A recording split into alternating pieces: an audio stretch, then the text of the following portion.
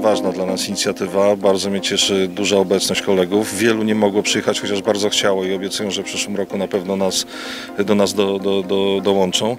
No bo jest to właśnie przejaw olbrzymiej naszej troski o, o przyrodę ojczystą, ale to jest również przejaw y, bycia dobrym gospodarzem y, na terenie, który współgospodarzymy, bo my dzierżawimy te, te tereny, więc jako dobrzy gospodarze po prostu, po prostu chcemy, żeby tutaj było jeszcze piękniej, bo Polska jest pięknym krajem, a poza tym jest to, patrząc głębiej dalej, jest to naprawdę bardzo taki wyraźny przejaw naszego patriotyzmu. I chcemy pokazać, że jako rodzina myśliwska y, po prostu jesteśmy, jesteśmy bardzo z tym krajem związani i, i, i, i blisko natury będziemy chcieli tutaj naprawdę tę akcję prowadzić, tak jak powiedziałem, napisałem w SMS-ie do końca świata, a może nawet jeden dzień dłużej. tutaj się podeprę już utartym takim tekstem, sloganem, ale uważam, że bardzo fajnym.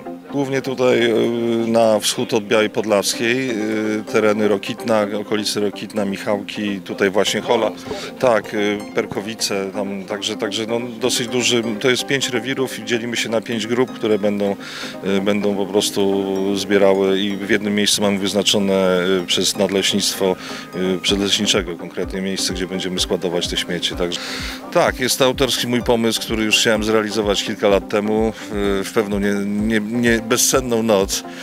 Wspominałem, jak sprzątałem mój własny las i stwierdziłem, że skoro osoba przyjezdna, która tu przyjeżdża z Warszawy, powinienem coś dla matki natury zrobić i no i dać coś od siebie, a że wyjazdy w łowisko na polowaniach, szczególnie zbiorowych, no, dostarczały nam wielu nie, niefajnych wrażeń w postaci właśnie wyrzucanych śmieci. Stwierdziłem, że wypadałoby coś w tym kierunku zrobić. No i za, zaproponowałem zarządowi taką akcję. Dostałem bardzo duże zielone światło na tę okoliczność. E, No i udało się. Do tej pory no, przeszkadzał nam trochę koronawirus, e, w związku z tym akcja jest dopiero teraz organizowana. Natomiast e, teraz sukcesywnie będziemy organizować akcje co roku. Będziemy kolejne, mamy pięć obwodów pięknych, więc co roku będziemy jakiś obwód sprzątać. Mamy zamiar rozpoczynać już w końcu kwietnia, tak jak jest sprzątanie świata. No i mamy nadzieję, że za sprawą e, nagłośnienia tej akcji przyłączą się do nas kolejne koła łowieckie, które tutaj również gospodarzą te tereny.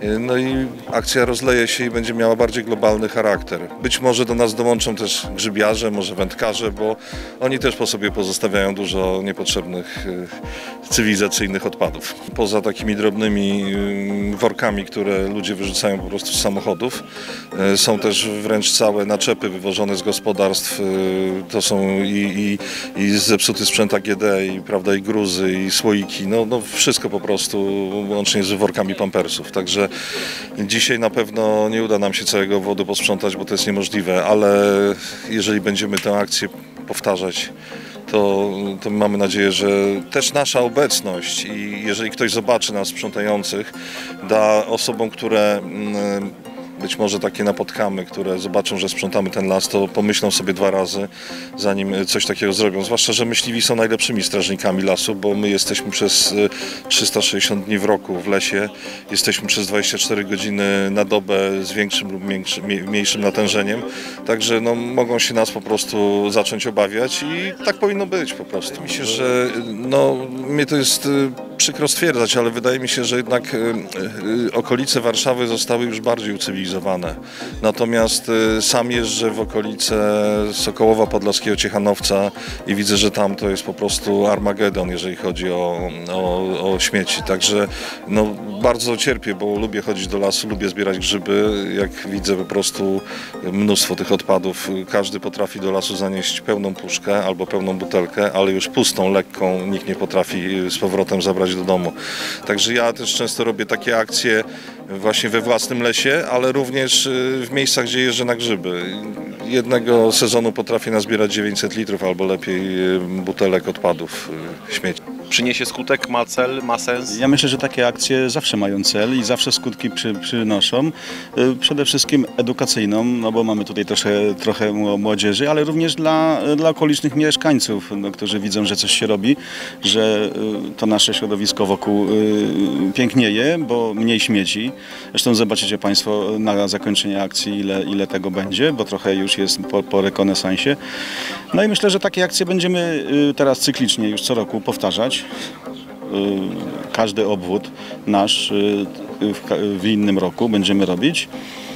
Mamy wszystko dograne z nadleśnictwem, ze starostwem powiatowym, y, patronat, y, wsparcie y, nawet finansowe, bo trzeba za, zakupić i worki, rękawiczki i inne rzeczy potrzebne ku temu. Także akcja y, myślę, że o, o, zakończy się dużym powodzeniem i przyniesie na przyszłość e, no, dobre plony. W przyszłym e, roku chcemy zaprosić do akcji e, na przykład szkołę jakąś, bądź jakieś inne środowiska młodzieżowe, a w tym roku ze względu na, na, na tą pandemię ograniczyliśmy tylko i wyłącznie się do, do dzieci naszych myśliwych. My się nie zgubimy, mamy wszystko oznakowane, mamy mapki, dojazdy, miejsce składowania śmieci, także Myślę, że il, i taki stan, jaki wyjedzie, taki wróci.